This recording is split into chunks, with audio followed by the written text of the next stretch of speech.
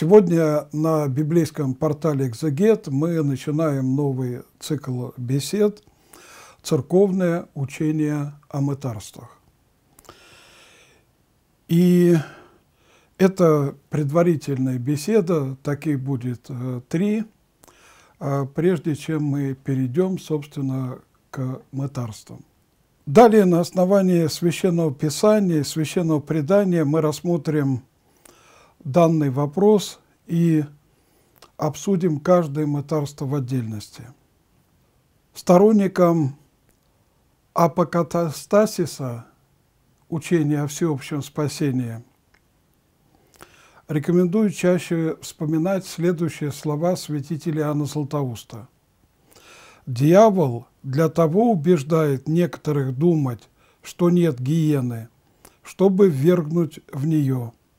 Напротив, Бог угрожает гиеной и ее приготовил, чтобы мы, зная о ней, так жили, чтобы не впасть в гиену. Вот эти слова, они могут э, быть э, хорошим эпиграфом для всего цикла этих бесед. И для нас очень важно именно в русле классического православного богословия рассматривать вопрос о мытарствах. Священномученик Ириней Леонский писал, «Ибо заблуждение не показывается одно само по себе, чтобы, явившись в своей ноготе, оно не обличило само себя, но хитро, нарядившись в заманчивую одежду – оно достигает того, что по своему внешнему виду для неопытных кажется истиннее самой истины. Действительно, дьявол очень много делает для того, а, чтобы сбить э, людей с истинного пути, и чтобы э, люди обнадеживали себя мыслью о том, что Божье милосердие, оно потерпит все и все простит, все исцелит.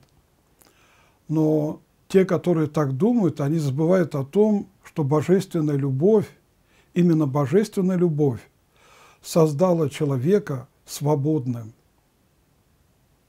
И, будучи свободным, человек сам выбирает, где он будет находиться в вечности. Поэтому свой ад или свой рай мы добровольно сами создаем еще в этой земной жизни.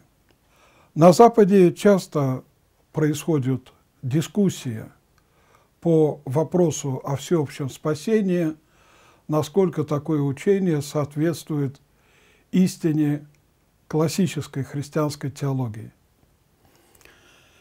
И те, которые ратуют за апокатастасис, за всеобщее спасение, они обычно много прикрываются такими понятиями, как любовь, как милосердие, забывая о том, что Бог создал человека по образу своему, по образу Божию сотворил мужчину и женщину.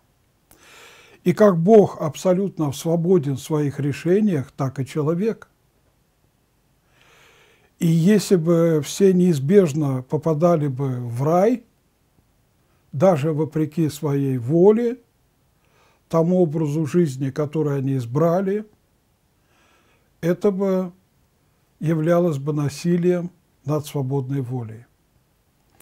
Я читал одну книгу, где говорилось о дискуссии по поводу оригенистского представления о всеобщем спасении, и один э, западный э, богослов, э, католик, он очень интересно сказал, тот, кто не верит во всеобщее спасение, толстокожий буйвол. Тот, кто проповедует всеобщее спасение – безответственный осел. Я предпочитаю в данном случае оставаться толстокожим буйволом, тем более комплекция позволяет. Священно мученик Ириней Леонский обозначил проблему. Ложь выглядит более истинно, чем сама истина. Если говорить о учении о всеобщем спасении, как это реализуется даже в православных учебных заведениях, то очень интересно мнение блаженной памяти отца Серафима Роуза. Он очень хорошо был знаком с системой православного образования в Соединенных Штатах Америки в Европе. Он пишет, возможно, ни один аспект православной эсхатологии не был столь неправильно понимаем, как воздушное мытарство. Многие выпускники современных модернистских православных семинарий склонны вообще целиком отвергать это явление как некое позднее добавление православному учению или как вымышленную реальность, не имеющую основанию ни в Священном Писании, ни в святоотеческих текстах, ни в духовной реальности. Эти студенты являются жертвами рационалистического образования, которому не хватает тонкого понимания как различных уровней той реальности, которая часто описывается в православных текстах, так и различных смысловых уровней, часто встречающихся в библейских и святоотеческих текстах. Современный рационалистический чрезмерный упор на буквальное значение текстов и реалистическое или приземленное понимание событий, описываемых в Священном Писании и житиях святых, замутняют или даже вообще полностью затмевают духовный смысл и духовный опыт, которые служат зачастую основными православными источниками.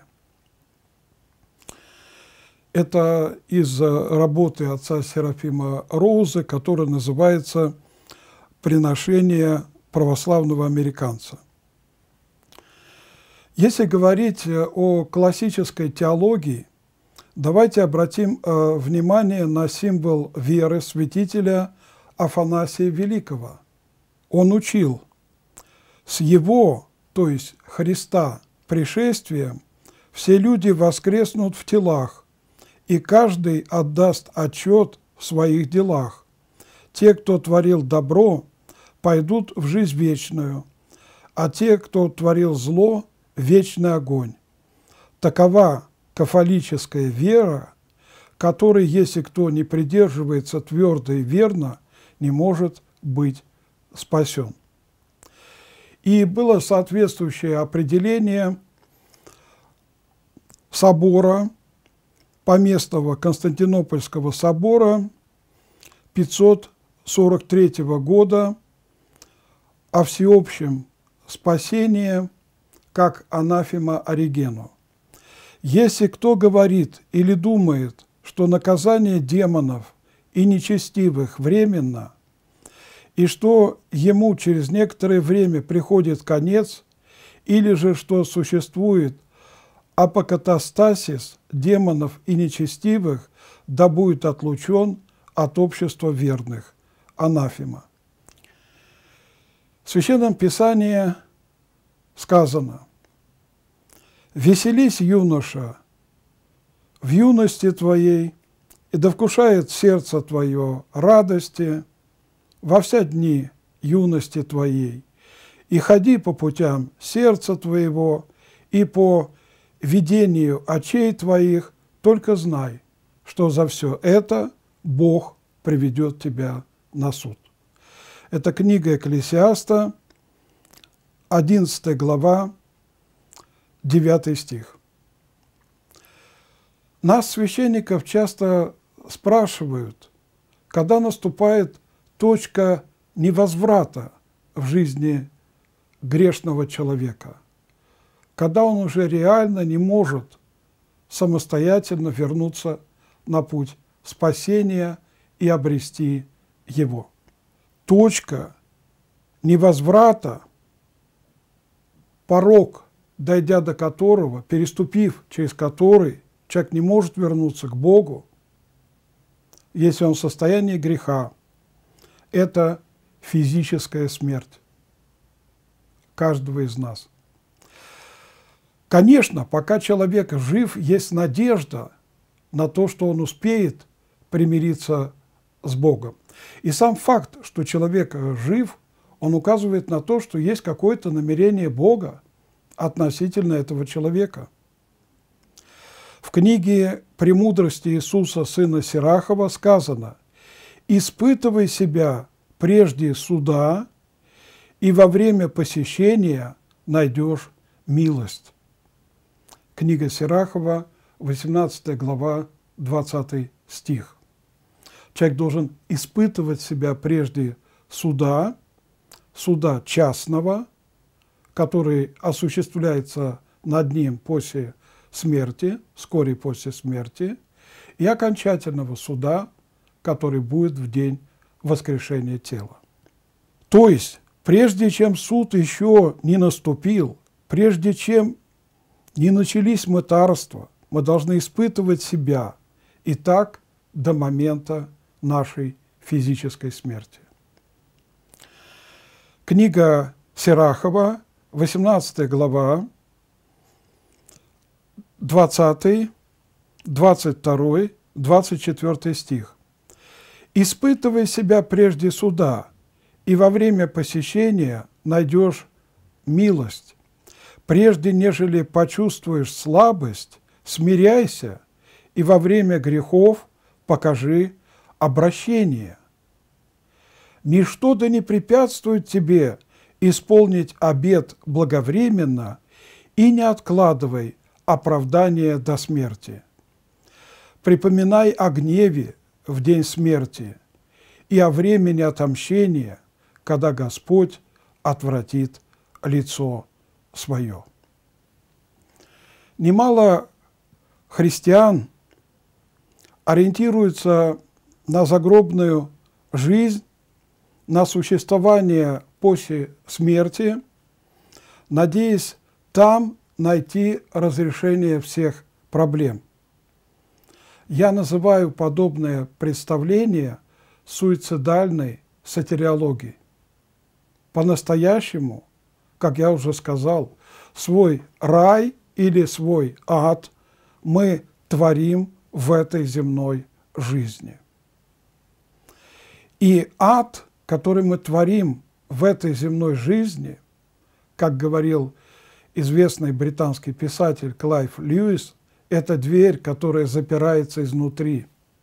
Человек сам отгораживает себя нераскаянными грехами от Бога.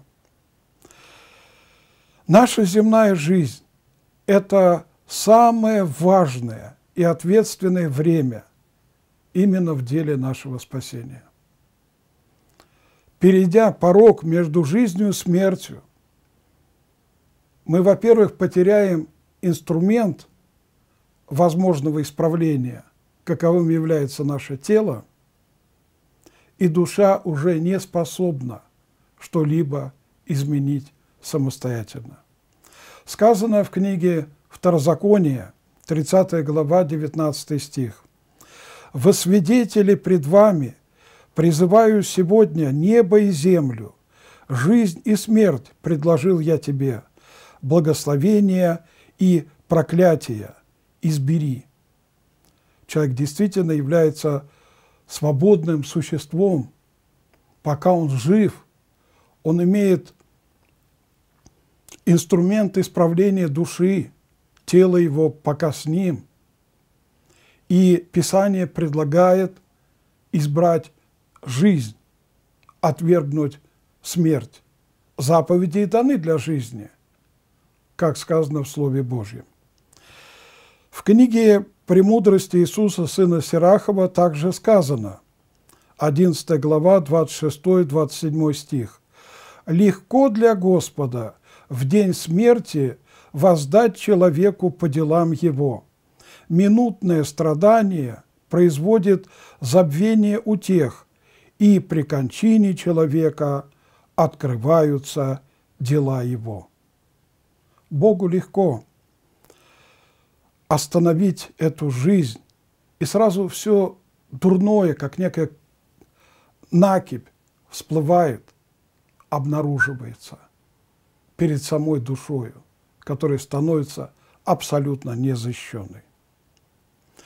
В этой же книге мы читаем 18 глава 20-22 стих «Испытывай себя прежде суда, и во время посещения найдешь милость.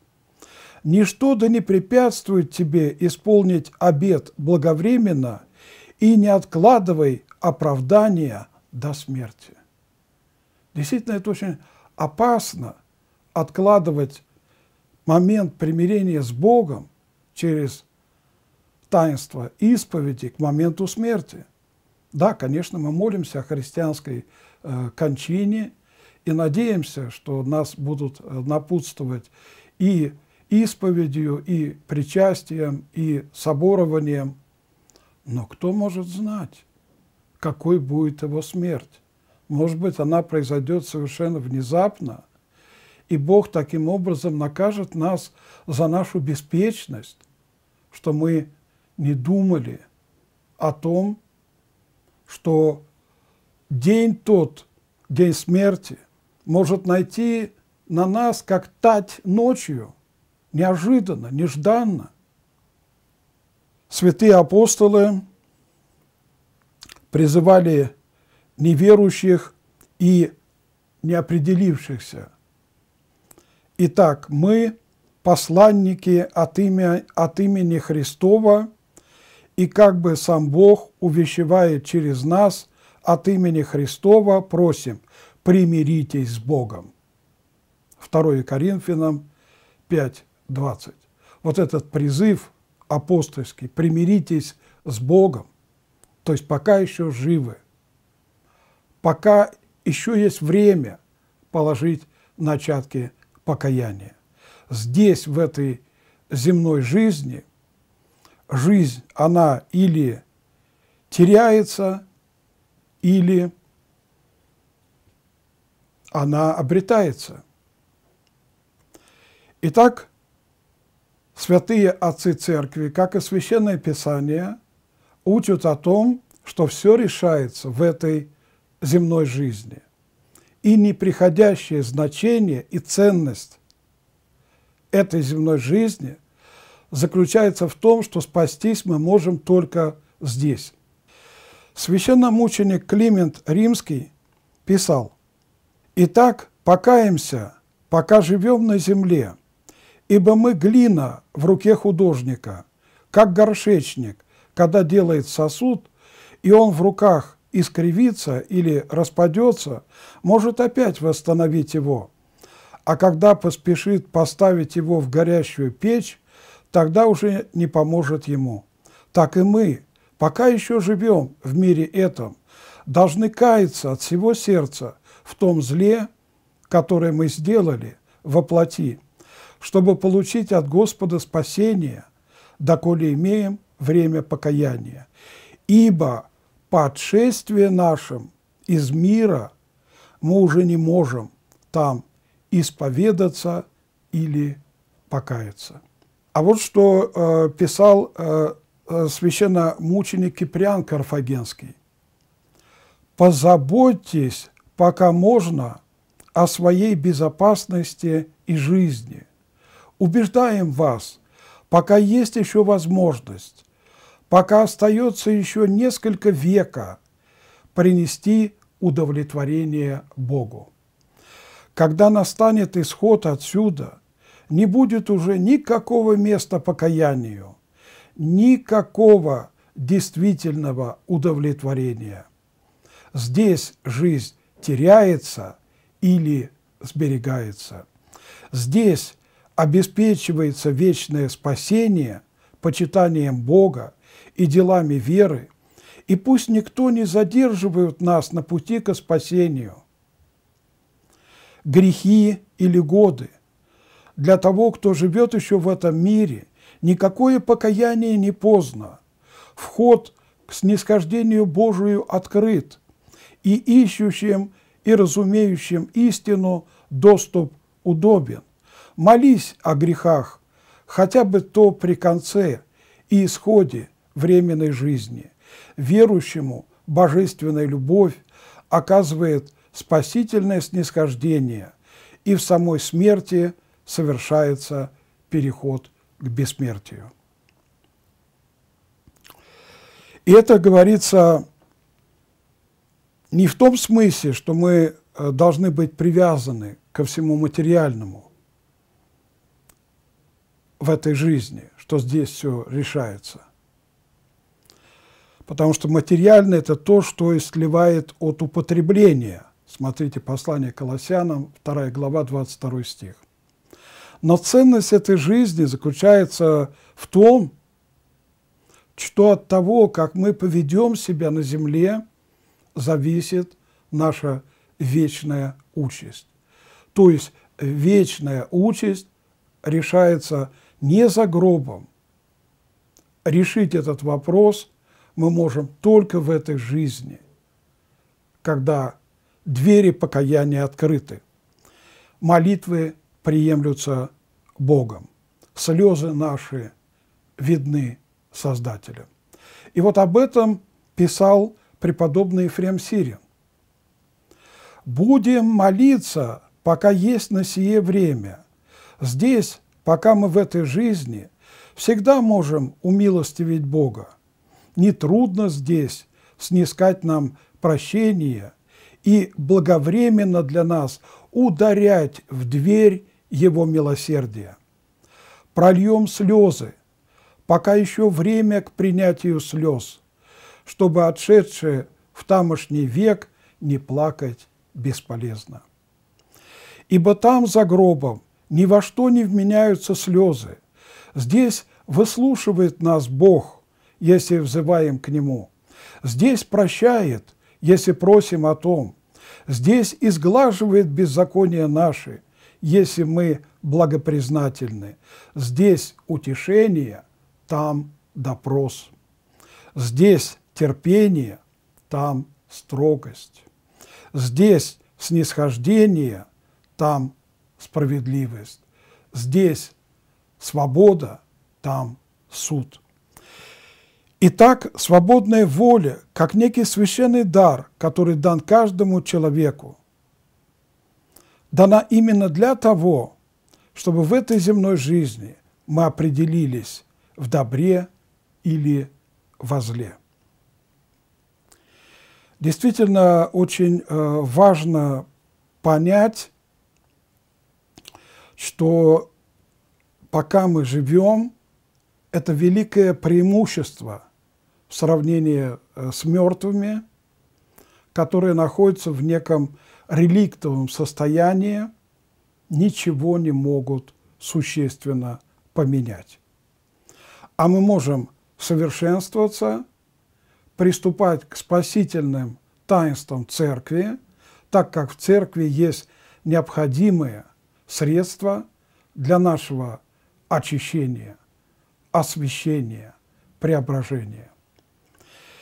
И вот э, преподобный Юстин э, Попович, автор э, прекрасной эсхатологии, пишет, религиозно-нравственное состояние души не меняется коренным образом в загробной жизни. То есть, какими мы умираем, такими же мы остаемся там. Иустин продолжает. Если бы Бог изменил его коренным образом, то совершил бы насилие над неприкосновенной свободой человеческой души и уничтожил бы то, что личность делает личностью. Однако и сама душа в загробной жизни хотя бы всем существом своим хотела и желала полностью изменить себя и начать новую жизнь, которая бы совершенно отличалась от ее жизни на земле, не могла бы этого сделать. не могла бы потому, что в загробном мире ей будет недоставать тела, являющегося необходимой составляющей человеческой личности для ее совершенного самоопределения и деятельности, потому что ей недостает земных условий и средств спасений, то есть возможности приступать к очистительным таинствам. Рассуждая о том, что для умерших покаяние закрыто, преподобный Иоанн Дамаскин пишет, нужно знать, что падение для ангелов то же, что смерть для людей. Ибо после падения нет им покаяния, как и людям нет покаяния после смерти. Вот так э, э, святые отцы рассуждают о значимости этой временной жизни. Здесь жизнь теряется или сберегается, ибо ее главное назначение, чтобы в этой земной жизни мы определились бы в добре и зле. И в Писании говорится о том, что долготерпение Божие ведет к покаянию. И если грешники существуют рядом с нами, и мы, впадая в грех, не погибаем сразу, это свидетельствует о том, что долготерпение Божие ожидает, когда мы обратимся к Богу, когда мы успеем примириться с Ним. Но парадокс э, заключается в следующем. В этой земной жизни мы больше заботимся о своем теле, хотя мы точно знаем, как бы мы ни старались, наше тело точно погибнет, точно умрет, точно разложится в земле. День спасения нашего тела – это когда будет воскрешение тел. Здесь э, тленное облечется в нетление, и тело станет бессмертным. Эта земная жизнь не для спасения тела, а для спасения души. Потому что душу можно спасти только в этой земной жизни. И если в этой земной жизни мы не спасем душу через обращение к Богу, мы нигде и никогда уже не сможем спасти ее. И это э, парадокс. С другой стороны, в этой жизни существование тела поддерживает душа. И когда душа выходит из тела, это есть момент смерти. Тело начинает разлагаться, распадаться на тот прах, из которого Бог и создал человека, как сказано, «И создал Господь Бог человека из праха земного, и вдунул в лице его, в ноздри его, дыхание жизни, и стал человек душою живою. Но когда душа выходит из тела, она не имеет полноты бытия. Она не может э, терпеть полноты страданий или полноты блаженства. Она в преддверии рая или в преддверии ада.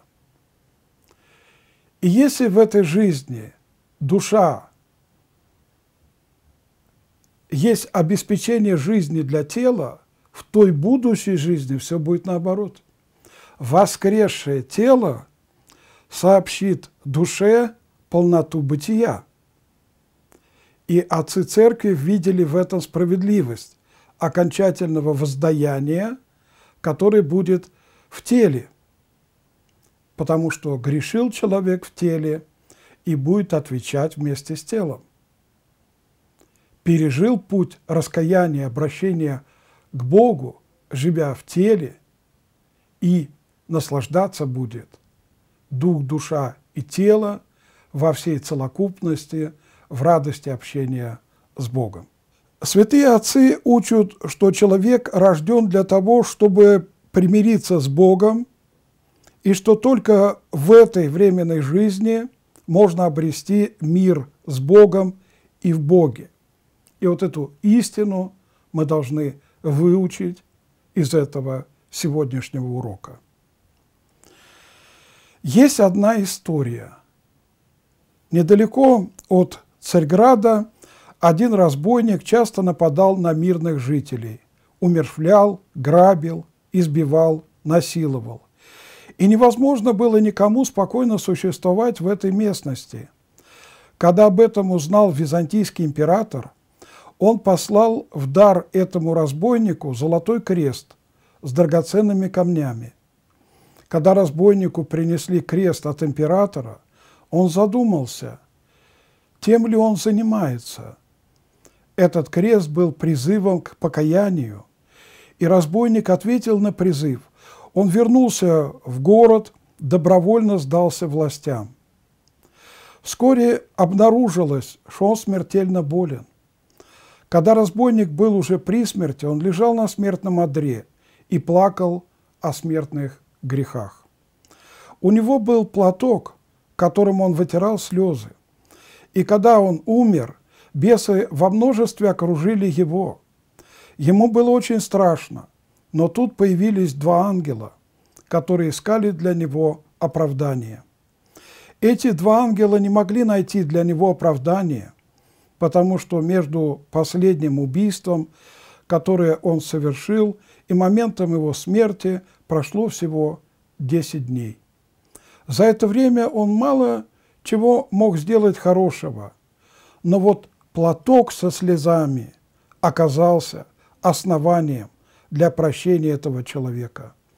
И монах, который видел ангелов с этим платком, поспешил к телу мертвого. Он увидел бывшего разбойника, который лежал мертвый, а на лице был тот самый платок, пропитанный его слезами.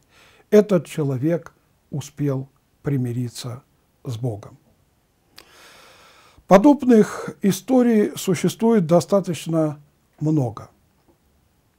И оканчивая сегодняшнюю нашу беседу, я прочитаю, может быть, самые поэтические слова из Священного Писания. Книга Экклесиаста, 12 глава, с 3 по 7 стих.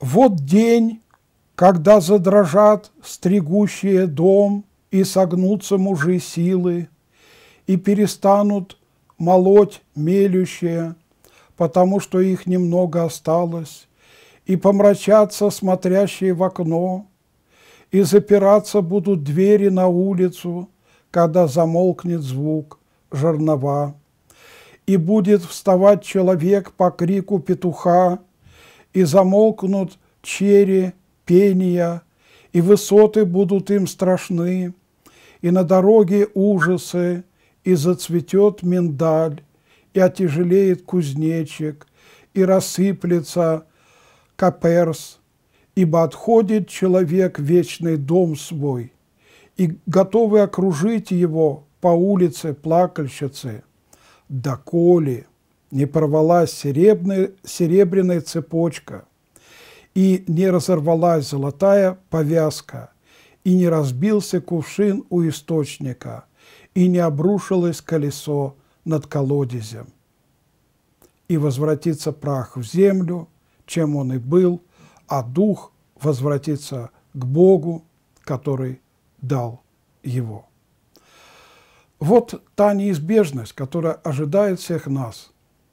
Когда умирал псалмопевец Давид, он так и говорил, «Я отхожу в путь всей земли». И в дни Иисуса Христа бытовало э, следующее выражение из трактата Перкея «Вот» «Человек рождается для смерти, умирает для жизни». Но какой будет эта жизнь, зависит от того выбора, который мы делаем сами до момента нашей физической смерти. Подписывайтесь на библейский портал «Экзегет», чтобы вовремя получать информацию о новых беседах. И берегите себя. Внеси свой вклад, оцени, подпишись и поделись этим видео.